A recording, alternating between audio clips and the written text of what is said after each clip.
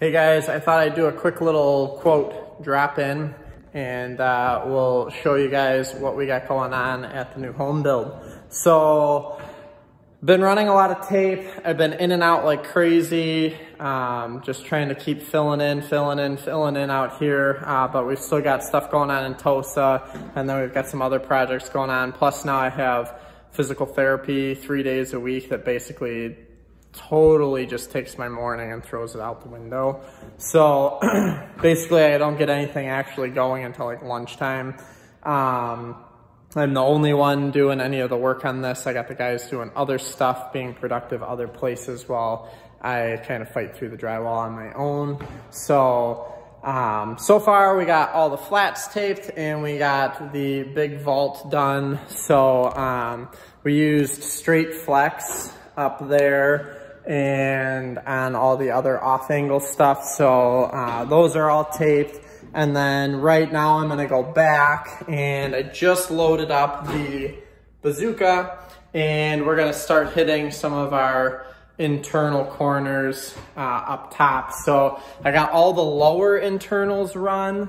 So all of our, all of our flaps and all of our vertical corners are taped and done. Uh, I have to run out the two bedrooms, the bathroom, this hallway, and then on the other side of the house, we have to tape out uh, the master, the master closet, master bath. So then we'll have the entire house taped out and done um, so I can get that stuff all into mud.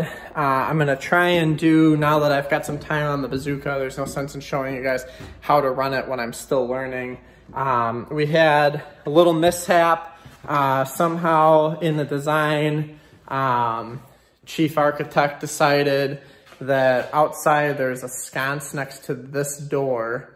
Chief architect put it over here and the electricians just went off the plan. So uh, as we're getting our exterior stuff started, I had Brian go through and start nailing on siding blocks and then I noticed a siding block way over here and I was like, whoa, hold on a minute, there should not be a siding block next to a window. So I had to have the electrician back out. Um, so I couldn't do any of the tape in the garage yet, but that's fine because we're working through the exterior package. There's siding soffit fascia right there. So as we work through the siding soffit fascia and that goes up, That'll free up the garage and then I'll just come out here and I'll kind of take care of this on its own.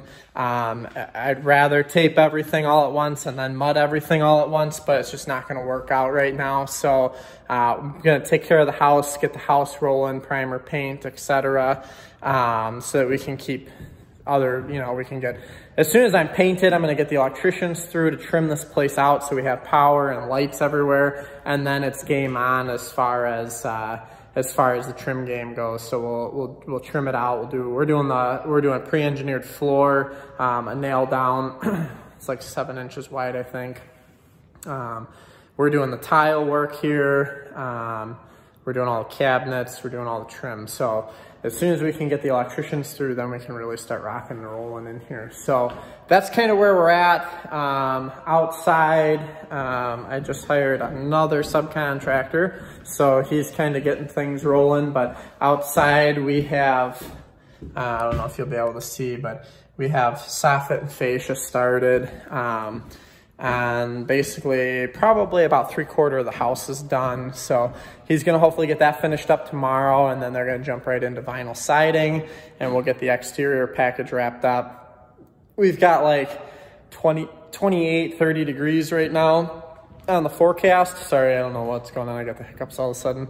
Um, so outside is not muddy but it's not terribly cold, so we can actually get some stuff done. So that's all looking pretty good. So that's kind of where we're at. As soon as I get uh, get the mud finished in the house, I'll probably do a how-to video on how all these uh, automatic tools work in the garage because it's just kind of a quick, easy place that I can run through and show how the bazooka tapes butt joints, tapered joints, corners, so on and so forth. So that's where we're at. Hope you guys enjoyed the little drop-in. I'll get this posted up so you guys can keep kind of following along. The trailer is outside, still torn apart. I need to throw insulation at it and uh, order some stuff for the 12 volt electrical and whatnot. So that's where we're at with uh, that's where we're at with life right now. Thanks for dropping in, and uh, we'll see you guys in the next video. Take her easy.